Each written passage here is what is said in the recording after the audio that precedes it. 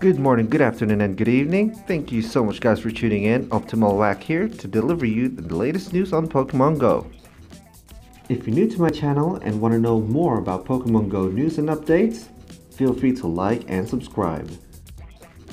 So, at the top of the list, a tweet from the Silph Road. Uh, certainly encourage you guys to follow anything about Pokemon Go uh, through at the Silph Road as well. Uh, they certainly are one of the biggest help in regards to, to the Pokemon game um, altogether, and they certainly do collect quite a substantial amount of data that will certainly help Pokemon Go players like myself um, to enjoy the game even better. Okay, so um, as it states here, weather outages um, our new favorite phrase, are reportedly occurring for travelers around the world.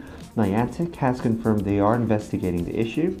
Now is a rare, clear chance to confirm local nesting species without confounding weather spawns and travelers.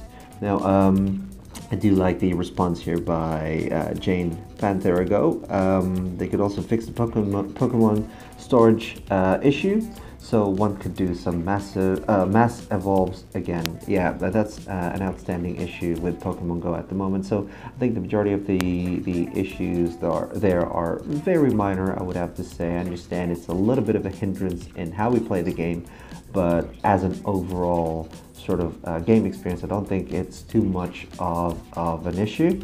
And I do think that um, Niantic will be able to provide, you know, a resolution to this issue in particular. And um, probably by the time you watch this video that issue might have already been fixed. Maybe one maybe not the storage one potentially the weather one I, I assume. In another news Pokemon Go Hub. Pokemon Go to finally launch in China. No release date yet. This will be a major milestone for the game. Absolutely. China's obviously um, a huge market the game um, I certainly do think there's a lot of um, people will be able to play the game there and as of the fact that it is based in, in, in Asia and the majority of uh, these Japanese animes will probably be quite famous in China as well.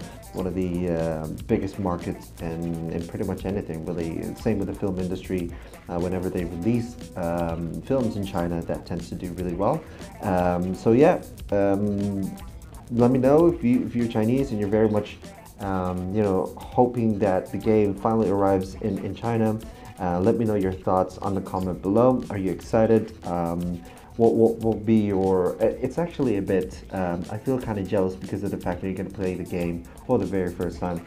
I mean, obviously, you might have already played the game at one point. Maybe if you traveled, then maybe that's one way for you to be able to play the game. However, if you're one of these people actually genuinely want to wait, so Pokemon Go actually is launched in China. Uh, like I said, I envy you a bit just because of the fact that you're going to be playing the game for the very first time.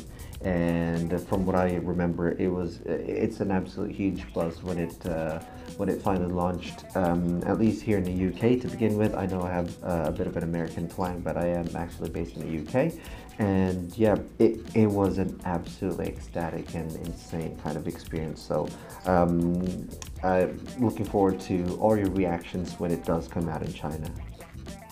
So guys, that is all for today. Let me know your thoughts in the comments below and uh, thank you so much for tuning in. Have a great day.